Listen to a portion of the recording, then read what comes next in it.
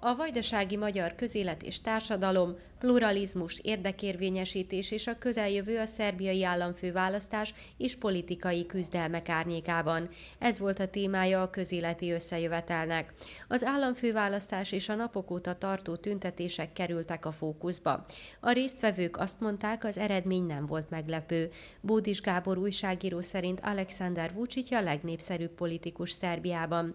Bódis azt mondja, elképzelhető, hogy Sasa Jankovics pártot alapít a jövőben. Ehhez csatlakoznak majd a demokratikus ellenzék pártjai. Itt egy nagy csatát kell még megvívnia az ellenzék sorai közül a demokrata párttal, mert az az elsőbségét fog harcolni. Végel László író azt mondja, megváltozott az emberek közérzete.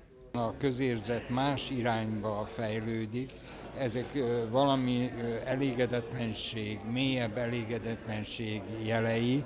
A tüntetések legitimitásáról is szó esett az összejövetelen. Sokkal hamarabb lett volna értelme kimenni, tiltakozni, nem pedig utólag, amikor már, amikor már Vucic mondhatja azt, hogy a többség belé helyezte a bizalmát. Egy vagy két tiltakozó embernek is van értelme valamilyen szinten, ez egy teljesen alapvető joga az embernek egy adott államban, hogy tiltakozzon.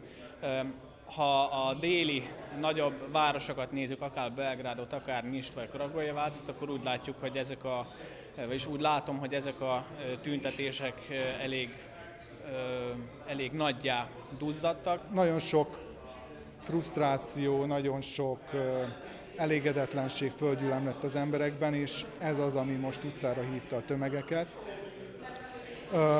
Most már azt is látjuk, hogy vannak konkrét, konkrét követelések is, és nagyon érdekes lesz azt látni, hogy, hogy mennyire tud ez a tüntetéssorozat kitartani, és hogy a hatalom miként fog ezzel tulajdonképpen szembesülni. Egyelőre azt látjuk, hogy, hogy tulajdonképpen eltűri azt, ami van, de, de igazi reakciót még nem láttunk.